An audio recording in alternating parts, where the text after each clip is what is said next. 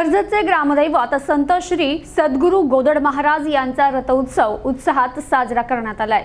कामिकी एकादशी निमित्त कर्जतचे ग्रामदैवत संत श्री सद्गुरू गोदड महाराज यांचा रथोत्सव मोठ्या भक्तिभावानं संपन्न झाला. संत शिरोमणी सद्गुरू गोदड महाराज यांच्या मंदिरात मध्यरात्रीपासूनच अभिषेक सुरू करण्यात आला. तर मंदिरात पहाटेपासूनच दर्शनासाठी भाविकांनी भाविकांनी मोठी गर्दी केली होती. दर्शनासाठी महिलांच्या पुरुषांच्या लांबच लांब रांगा लागल्या होत्या. मंदिरात प्रत्येक दर्शन घेणाऱ्या भाविकास खिचडीचं वाटप करण्यात येत होतं. तर सकाळी दहा वाजता रथ मंदिरासमोर बाहेर काढण्यात आला.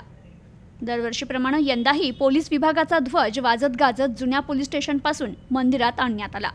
समाधीला हा ध्वज लावून तो मंदिरावर लावण्यात आला. तर दुपारी तहसीलदार गणेश जगदाळे यांच्या हस्ते मानाची पूजा करण्यात आली. दुपारच्या सुमारास महाराजांचा रथ ग्रामप्रदक्षिणेस निघाला यावेळी रथास ओटी लावणाऱ्या माणकऱ्यांचा फेटा बांधून सन्मान करण्यात आला. रथ दोरखंडाच्या साह्यानं ओढण्यासाठी ठिकठिकाणी भाविकांनी ग्रामस्थांनी गर्दी केली होती. महाराजांच्या रथापुढे मुख्य श्री गोदड महाराज यांच्या दिंडीसह पंचक्रोशीतील विविध गावातून आलेल्या दिंड्या हरिनामाचा गजर करत सहभागी झाल्या होत्या. रथ उत्सवात पुजारी मानकरी सेवेकरी भाविक यांची मोठ्या उत्साहात उपस्थिती होती. शहरातील ठिकठिकाणी रथास पुष्पहार आणि नारळाचं तोरण अर्पण केलं जात होतं. तर यावेळी मोठा पोलीस बंदोबस्त प्रशासनानं तैनात केला होता. मंदिरावर आकर्षक अशी विद्युत रोषणाई करण्यात आली होती तर मंदिराच्या गाभाऱ्यात फुलांची आकर्षक सजावट करण्यात आली होती.